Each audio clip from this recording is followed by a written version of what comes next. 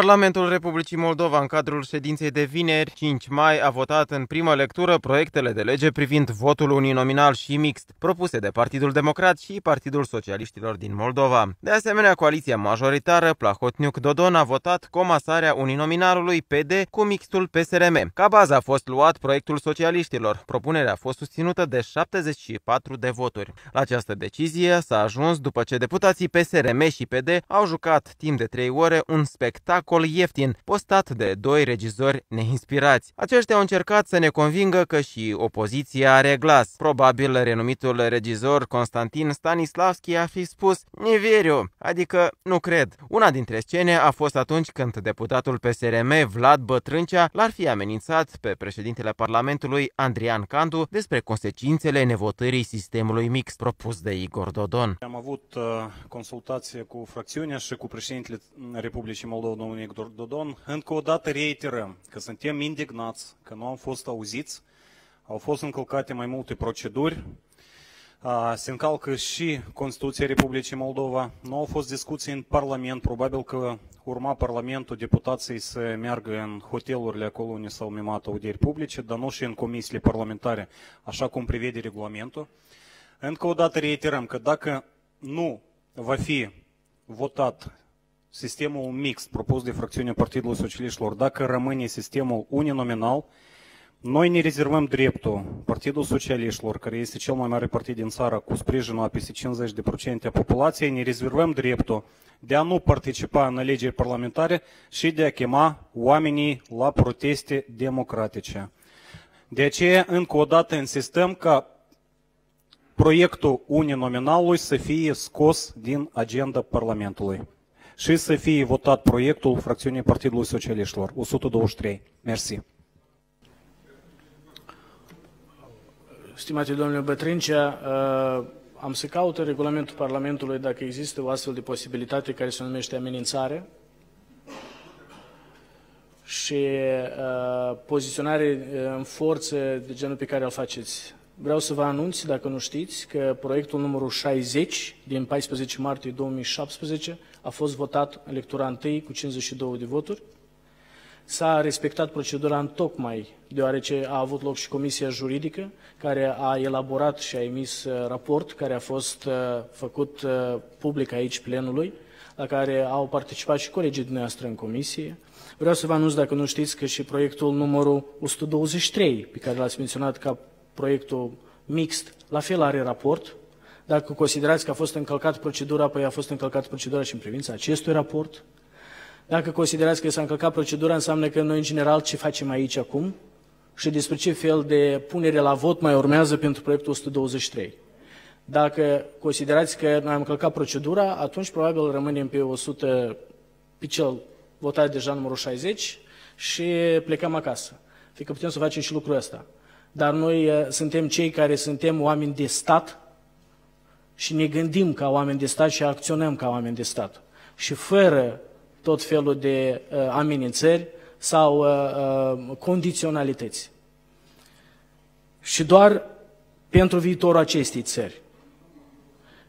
Pun la vot aprobarea în primă lectură a proiectului de lege pentru modificarea și completarea unor acte legislative, proiectul numărul 123 din 19 aprilie 2017, nu ca și condiție impusă de fracțiunea Partidului Socialiștilor, dar pentru viitorul Republicii Moldova, pentru modernizarea europeană a Republicii Moldova. Cine este pentru, vă rog frumos să vă pronunțați prin vot. Iar numărătorii, vă rog frumos să ne dați uh, rezultatele pe sectoare. Votul este de 74, astfel uh, proiectul de lege a fost votat în prima lectură, proiectul, proiectul numărul 123 din 19 aprilie 2017 a fost votat în lectura întâi. Ceea ce a fost astăzi în Parlament putem califica ca o victorie a președintelui și a fracțiunii socialiștilor în lupta contra votului uninominal.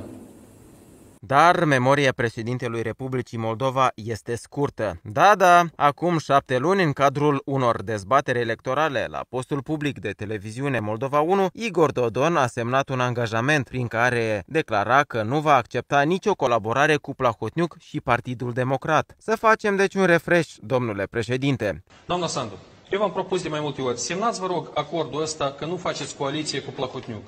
Eu l-am semnat. Semnați așa dumneavoastră. Semnați acord public că nu faceți coaliție cu Plahotniuc după alegeri. Ca oamenii să vadă acest lucru. Liderul partidului nostru, Renato Osată, a postat pe pagina sa de Facebook un document în care amintește despre angajamentul asumat de Igor Dodon de necolaborare cu oligarhul Vladimir Plahotniuc. În textul postării, Usată i-a mai adăugat că astăzi a fost săvârșită logodna oficială dintre PSRM și PDM. Liderul partidului nostru îndeamnă toate forțele de opoziție, inclusiv pe CRM, să se opună prin proteste implementarea acestui proiect de lege privind votul mixt. Astăzi, când au fost votate cele două proiecte de lege privind votul uninominal și mixt, în fața Parlamentului s-au adunat spontan un grup de protestatari. A fost lume puțină deoarece pe ordinea de zi a Parlamentului au fost incluse prin surprindere chestiunile privind schimbarea sistemului electoral. Probabil uh, s-a recurs la acest șiretlic pentru că în țară nu s-ar fi aflat liderii de opoziție, care se află peste hotare. În decursul ședinței Parlamentului, liderii partidelor de opoziție au îndemnat cetățenii la proteste. După aceste chemări, în centrul orașului au apărut nu doar protestatari, dar și polițiști. La protest au venit atât chișinăuieni, oameni politici, cât și formatori de opinie. Fostul ambasador al Republicii Moldova în Consiliul Europei și Organizației Națiunilor Unite, Alexei Tulbure, a declarat că în clădirea Parlamentului are loc o răsturnare antidemocratică. Cei care se numeau opoziții mor acum ca opoziție în Parlament. Eu de fapt consider că este un proces firesc și bun tot ce nu este prielnic pentru Republica Moldova, tot ce nu este prielnic pentru oameni, trebuie să să ducă, să plece, să moară, să întorlocheze unii cu alții, să contamineze unii pe alții, să nece unii, unii cu alții. Deci socialiștii au fost, de fapt, ne convingem și nu mai sunt opoziție. Locul lor este aici, uh, ar fi trebuit să fie aici. Uh, și în condițiile în care societatea civilă, adevărată opoziție, comunitatea internațională este împotriva introducerii acestui vot uninominal sau a sistemului mixt, uh, opoziția parlamentară sau cei care se numeau trebuiau să fie cu noi în, în stradă. În campania electorală anticonstituțională Dodon promitea să fie în fruntea mișcării protestatare, nu la masa de tratative cu Placatniuc. Uitați-vă ce se întâmplă. Asta e rușine. Ceea ce se întâmplă astăzi este complot împotriva democrației, împotriva visului nostru european, din spusele vicepreședintelui partidului nostru, Dumitru Ciboașenko, asta demonstrează încă o dată o înțelegere de cartel dintre PSRM și conducerea oligarhică. Здании парламента фактически совершается государственный переворот.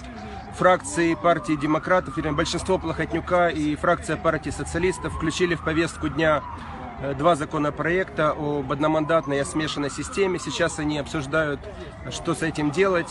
Э, мы призываем всех, э, кто выступает против этой системы, э, сторонников нашей партии, всех неравнодушных людей прийти сюда к парламенту, чтобы показать, что даже вот в, этот, в пятницу после обеда, перед праздниками, по-воровски они собираются Э, совершить это преступление, изменить избирательную систему, против которой выступает большинство граждан Молдovы, выступают европейские международные организации. Plahotniuc îl va folosi probabil încă o dată pe Igor Dodon, care va declara că Comisia de la Veneția nu are niciun drept să dea indicații Partidului Socialiștilor. Îl vor ierta oare pe Igor Dodon Rusia și alegătorii după ce au fost trădați de două ori? Prima dată trădarea a fost săvârșită când Nicolae Timofte a fost uh, ales președinte. Dodon va rămâne în memoria moldovenilor ca un președinte folosit, Dodon Terfelitul.